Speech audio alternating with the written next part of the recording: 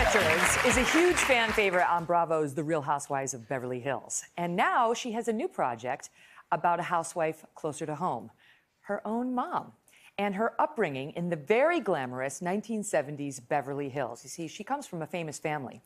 It is a scripted dramedy called American Women, Woman, American Woman. And Mena Suvari is one of the show's leading ladies. We will speak with both of them live in just a moment, but first, watch this. Kyle Richards has been acting since she was just four years old, appearing in more than 100 TV shows and films, including Halloween. Hello? You may know her best as one of the original cast members of Bravo's Real Housewives of Beverly Hills. In this town, fame and money come and go, but friends should not. An aunt to Paris and Nicky Hilton, Kyle is used to the limelight, but she's now stepping behind the lens as co executive producer of a new dramedy, American Woman, on Paramount Network. The show, inspired by Kyle's own mom, Kathleen Richards, centers around a strong, single mom raising her daughters in Los Angeles in the 1970s. Slow. Starring Alicia Silverstone, Jennifer Bartels, and Mena Suvari. You know, women can start businesses. These friends are independent women in a decade not yet ready for them. Kathleen, you look lovely. Thank you. But where's Greg? He couldn't make it. He's in New York. Well, give him my best if you would. I will. Good to see you. See? Robert Redford's publicist. This party just got 60% more interesting. I told you this was a big deal. Please welcome Kyle Richards and Mena Suvari.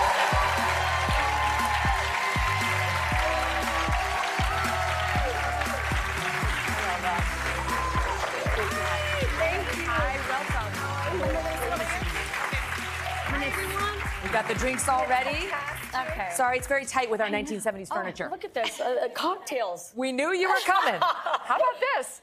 All right, so I, I've seen the first two episodes and I loved it. I loved Thank them. you. Yeah, it makes me happy. Honestly, I was like, okay, out of respect for Kyle, and I, wa- I want to see this, and I was, I couldn't get enough of them, and I, w- I wanted them to release more to me. Yes. Um, I'd love to hear that. So what, one of the things I loved about it is it's a period piece, really, set in the 1970s, which you know I think we're the same age, just about, right? I was mean, born in I'm not- 1970. Okay, yes. Okay, you, you- enough said. um, but it, the way, like the set design and the hair, your hair in the show is perfection. Yeah, I miss it. And the, but there's a lot of pieces in there.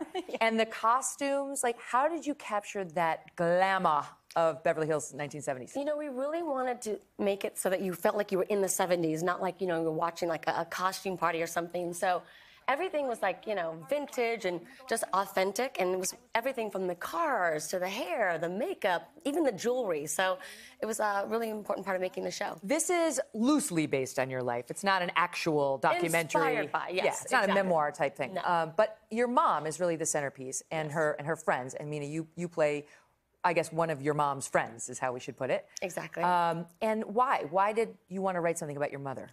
You know, my mom, um, well, first of all, I, I, I, it's a love letter to my mom, really, but my mom was a very strong, um, outspoken woman. And in that time, women weren't supposed to be like that. Now it's like, oh, boss lady, you know, that was a, that's a term now. But in the 70s, if you were strong and opinionated and outspoken, you know, it was looked down upon. And my mom um, was that woman, very strong. And I did not have a conventional life growing up at all.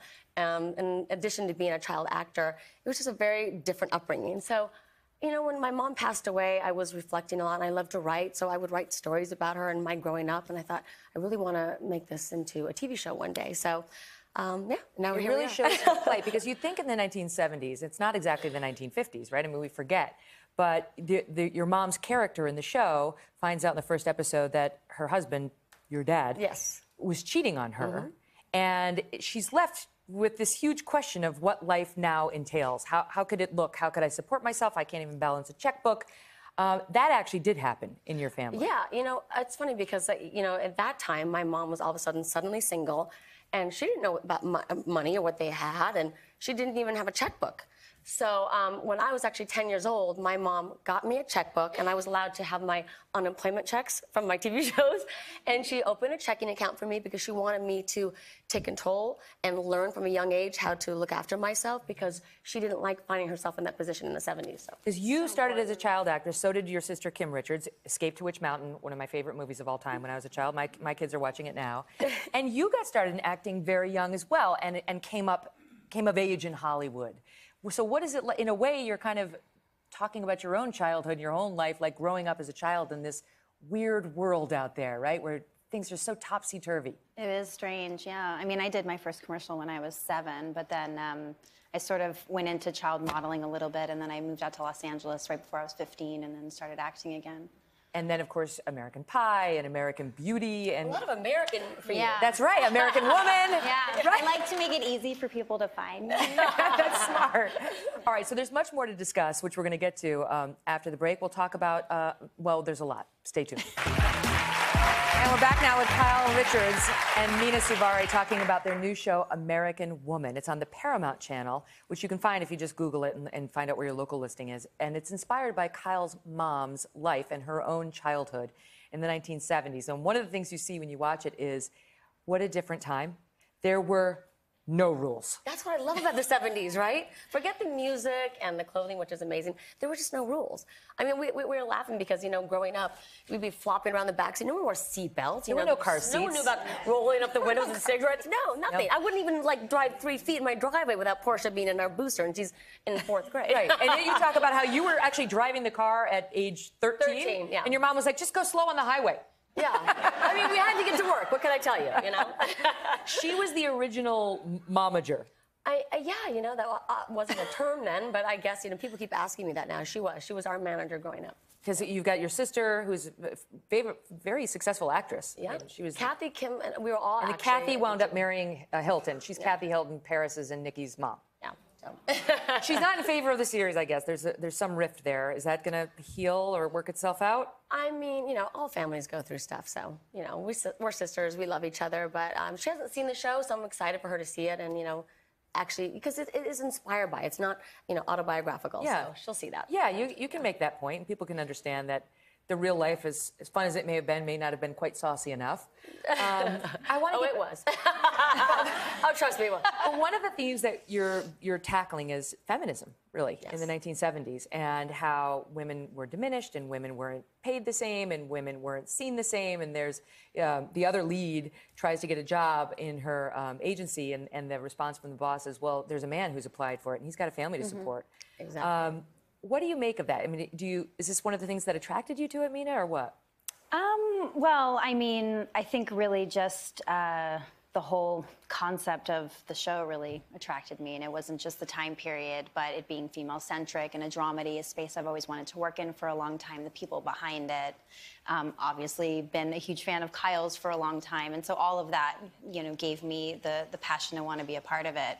Um, but that was something that was really interesting for me to experience. And I definitely had a lot of moments of, catching myself, um, you know, on set thinking about the subject matter and what these characters were having to experience and reflecting upon my own life and, you know, using that as a comparison because, you know, I, I, I've never had that personal experience. It made me think a lot about my mother and what she possibly had, you know, gone through. and- Have you never had? You've never. I mean, it's hard to believe that you gr- you grew up in Hollywood and were never harassed. I mean, harassed or. not wasn't not that. I mean, in the sense of I've always felt very independent. I incorporated in 2000. Like I've always had the ability to, you know, buy something for myself if I want, or be independent in, you know, in in my choices in that sense. Um, but uh, but no, there's many other instances for sure. Um, Yeah, because in in the show it makes it clear it was just rampant. you It was even- around every corner.